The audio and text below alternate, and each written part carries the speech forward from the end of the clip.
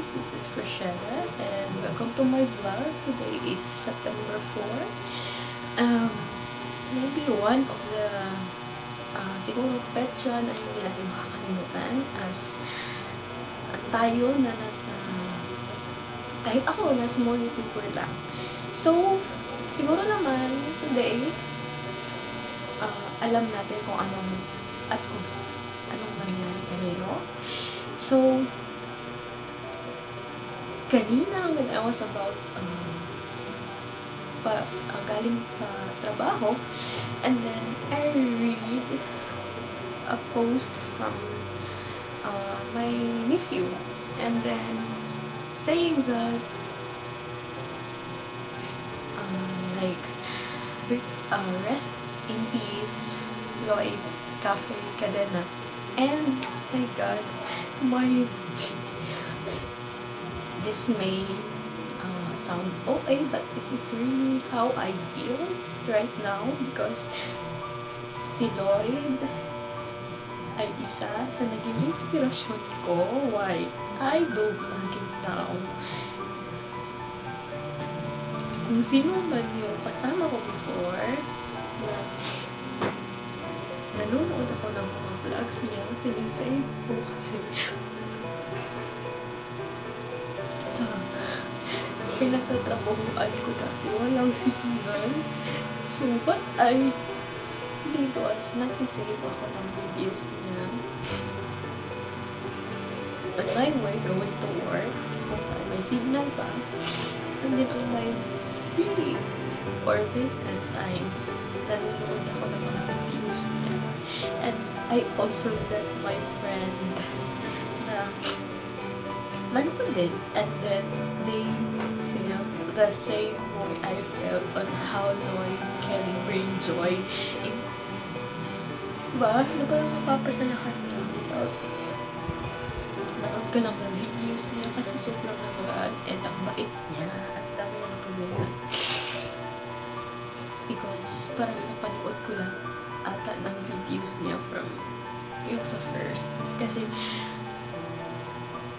nakakatch ng mga tao yung ganong ganong klaseng tao na katulad ni Lloyd. And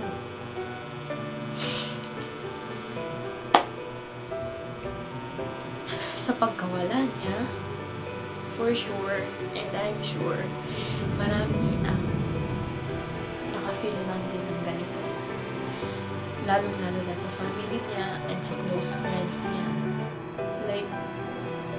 Kasi si Lloyd, ano, sa mga, kahit sa videos lang ha, and then, siguro one of my bucket list na yung mamit siya in the future, sana.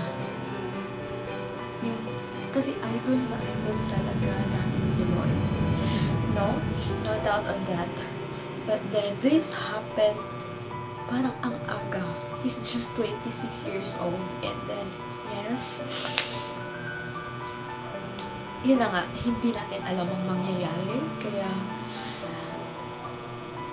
pero, parang makapasyon mo pa na bakit yung kung sino pa yung parang may marami pang planong tumulong. Kung sino pa yung may mabuting puso. Yun pa yung diba, unang-unang mawawala dito sa mundo. And Lloyd is one of those people golden heart to help other people who needs his help. Diba? Sa mga bata, kabibigay lang niya ng mga tablets and all that for them na to ano na the online diba? Online class. So, this this ano, past few days, parang nag-ano ako na, bakit walang upload si Lloyd, ganito ganyan. Kasi nami-miss ko, nag-score kasi ako sa ano, mga vid sa YouTube. And then, ba't, ba't, ba't parang wala masyado siya? And then, gusto ko meron kasi nami-miss ko yung tawa niya, yung ganyan gano'n And then, parang paano-ano lang sa BNT na ano, mga ano, mga bayot. And then, ito na nga, sad news came na wala na siya And, sa- and then, I'm just doing this video para lang na maano kung ano yung na-feel ko na na-inspire din niya sa isa sa na-inspire niya na mag-vlog kahit hindi ganun kadali mag-start. Pero ini-inspire ka niya na go push lang. Kaya mo yan. And kung narating niya yun, mararating mo rin yun. Yun yung palagi niyang na, yun yung palagi kong na ano sa kanya eh. Parang, oo nga no, nakaya nga ni Loren tayo kaya. Ganun, ganun. Parang siya yung naging strength ba ng mga vlogger wannabes na mga small lang nags, na nag-start pa lang katulad ko. And I really love Lloyd the way siya, kung ano siya, kung ano siya.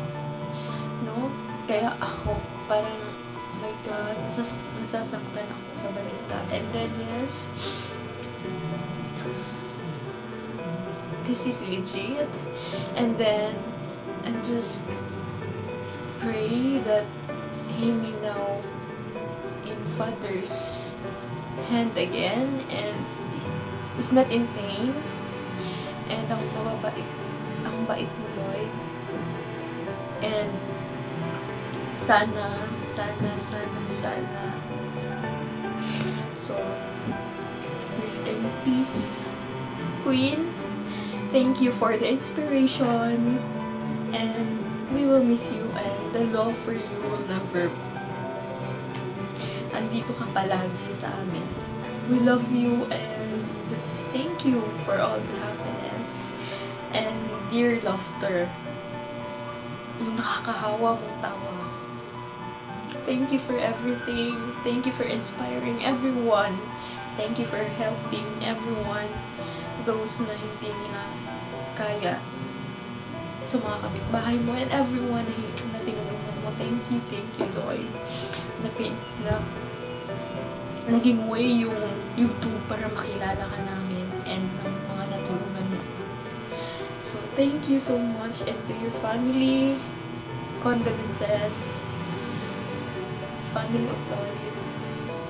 We will miss you and I personally love you. And this is news really breaks my heart. We will miss you, Lord.